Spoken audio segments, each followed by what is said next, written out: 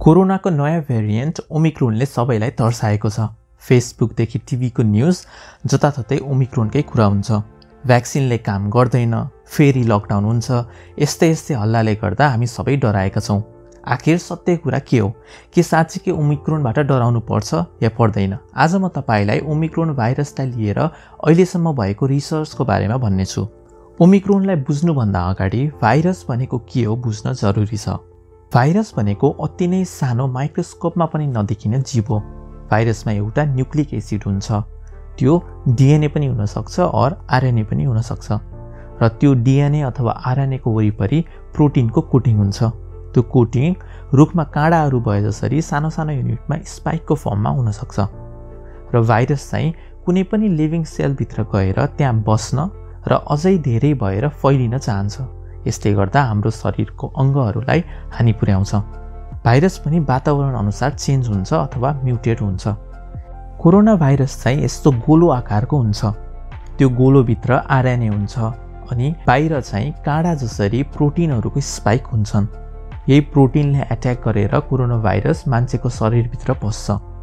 Corona virus पनि change हुँदै गइरहेको छ। अहिलेसम्म धेरै प्रकारहरू भइसके। त्यो मध्ये अलि बढी चेन्ज भयो भने त्यसलाई चिन्ताको विषय मानिन्छ।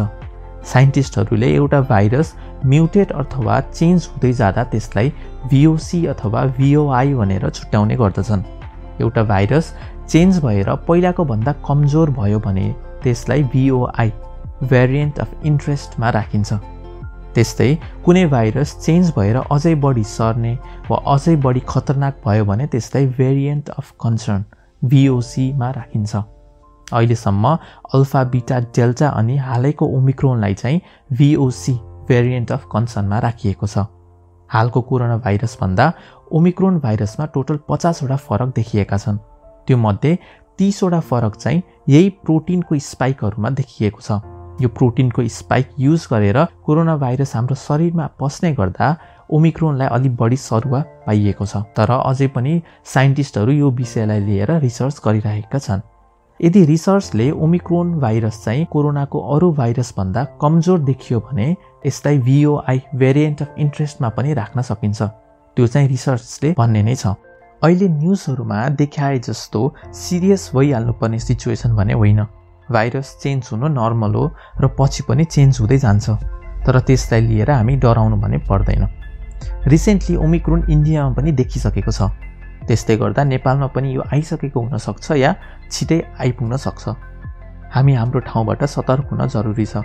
बाहिर निस्किँदा मास्क लगाउने हात राम्ररी धुने र सकेसम्म भिडभाडमा नजाँदा राम्रो हुन्छ। आजको भिडियो मन परेमा लाइक सेयर एन्ड सब्सक्राइब गर्नुहोस्। तपाईँलाई हेल्थ रिलेटेड कुनै पनि क्वेसन भएमा कमेन्ट गर्नुहोस्। हामी सबै कमेन्टको आन्सर गर्नेछौँ।